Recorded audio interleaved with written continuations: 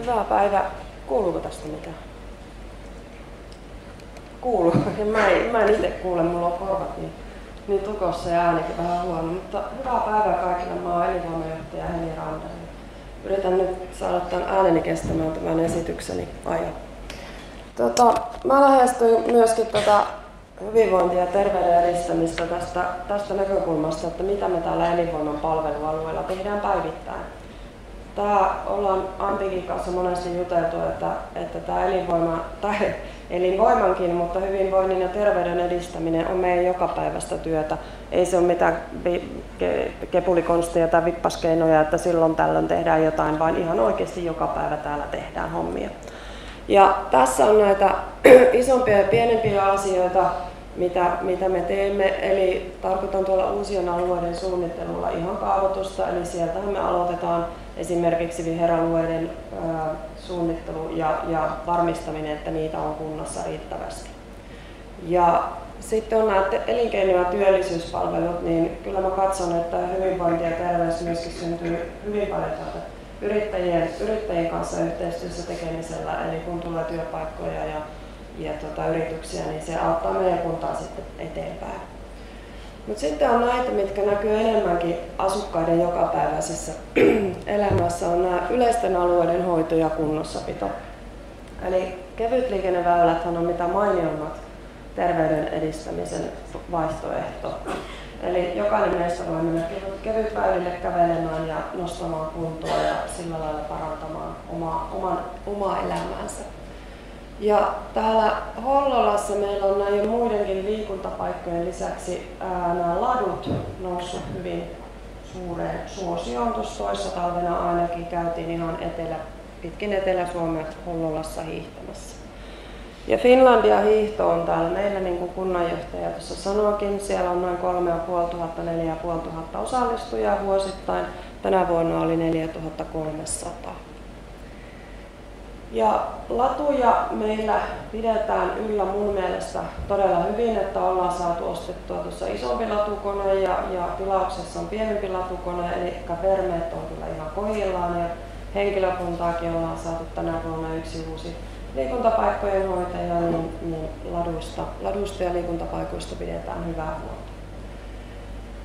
Sitten meillä on tietysti tämä mm, sisäinen, sisäinen toiminta, eli nämä, tai itse ajattelen sisäinen toiminta, tehdään tuolle hyvinvoinnin palvelualueelle näitä kouluruokailuja, eli siellä kun oppilaat tulevat kouluun, niin meidän palvelualueen työntekijät sitten tekevät ruokaa ja siivoavat tiloja ja sitä kautta sitten pienet, pienet ja isommat oppilaat ja, ja päiväkotilaiset niin voivat hyvin siellä päivän, päivän aikana, että yritämme luoda heille tosi mukavan ruokailutilanteen myöskin sinne päiväaikaan.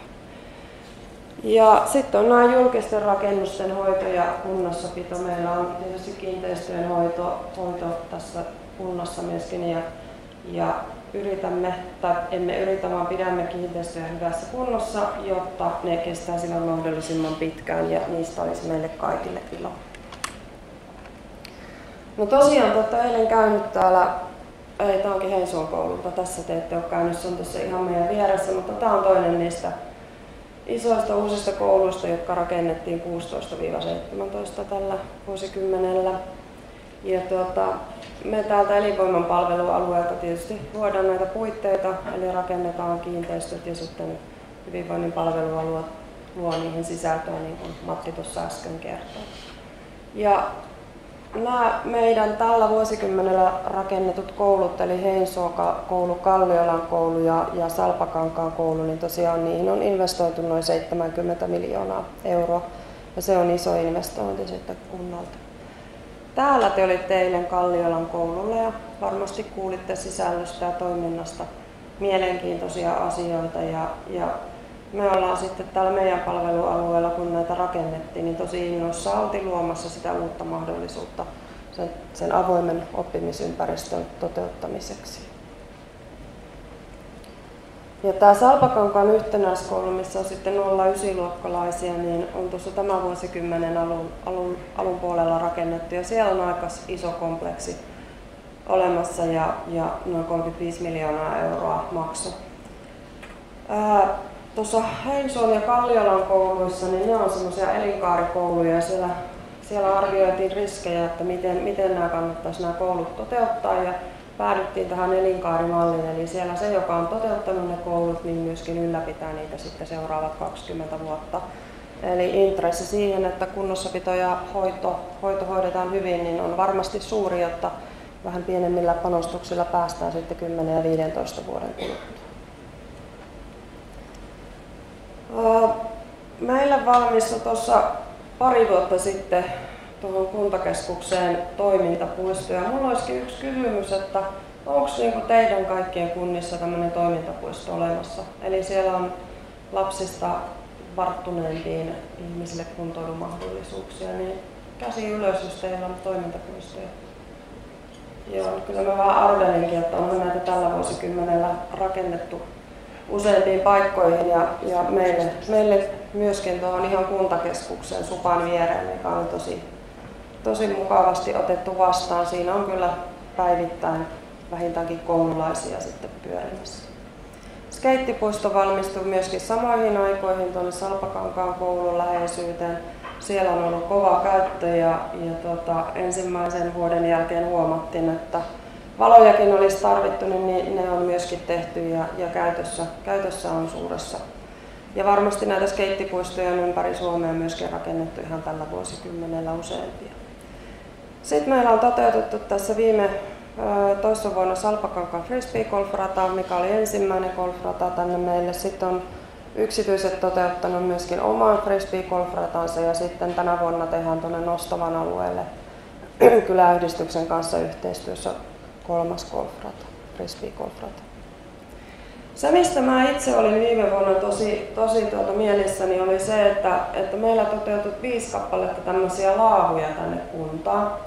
Ja näissä ensin tuntui hyvin haasteelliselta, että miten me saadaan näitä ikinä niin kuin tehtyä. Että asukkailta tuli toiveita, että, että voisiko sinne ja tänne tehdä. Ja, ja meillä sattui sitten olemaan semmoinen projektityöntekijä, joka otti tästä koppia ja tota, hän sai koottua kyläyhdistyksiä ja asukkaita ja, ja ne laavut on sitten rakennettu pääosin niin kuin asukkaiden voimin. Kunta on ostanut materiaaleja, mutta toteutus on kyllä ollut sitten asukkaiden vastuulla enemmälti, enemmältikin ja se oli tosi hienoa, että se onnistui. Viisi samana vuonna, niin, niin mun mielestä siitä voi olla tosi ylpeä. Ja yksi on tuossa meidän Tiirismaan kierroksella tuossa ihan lähellä, niin siellä on kyllä ollut makkaranpaistoja ihan riittävästi. No sitten on nämä, mä haluan vielä kysyä, että onko juoksuportaita teidän kunnissa? Joo. Päähän on ollut kanssa kova puumi tässä viime vuosina ja valitettavasti mulla nyt ei ollut kauhean hyvää kuvaa, mutta YouTubesta löytyy heinä avajaiset, kun menette katsoa sieltä Salpasupan juoksuportaat, niin, niin löytyy. Marraskuun lopussa oli meidän nämä, nämä juoksuportaiden avajaiset ja Antti siinä veti rundia eestaan ja me muut huudettiin. Hurraa! Mutta tota, tämä oli kyllä kans mun mielestä semmoinen ponnistus, mikä oli hienoa, että saatiin tänne meidän kuntaan. Ja, ja tuossa mm, suppa, iso suppa tuossa keskustassa on ihan tuossa meidän selän takana ja ne portaat on siinä, eli, eli ei ole todellakaan pitkä matka mennä juoksemaan juoksuportaisiin. Ja, ja tämä, tämä oli, vai mitä, oli ihan kiva tapahtuma, että saatiin, Kyllä. saatiin nämä, nämä aikaiseksi. No sitten on näitä tulevia investointeja. Tuossa oli oikeastaan niitä, mitä me ollaan palvelualueen puolella toteutettu, niin isoin, isoin ja kaunein tietenkin tulevaisuudessa on tämä Hollolan sosiaali- ja terveyskeskus. Eli me ollaan vanhasta terveyskeskuksesta luovuttu, se on myyty jo pois ja uuden rakentaminen alkaa tänä vuonna maatöille ja valmistuu sitten 2021. Eli olemme saamassa hienon uuden sosiaali- ja terveyskeskuksen ja siellä on, meillä on tämmöinen laajan palvelun keskus, että joissain muissa päijät kunnissa voi olla niitä suppeamman palvelun keskuksia, mutta me ollaan nyt saamassa tämmöinen isompia. Tämä on tosi tärkeä hollolalaisille, koska nyt jo koetaan, että terveyspalvelut on ollut hyvät tähänkin asti, niin tämä varmasti parantaa sitten laatua ja tasoa.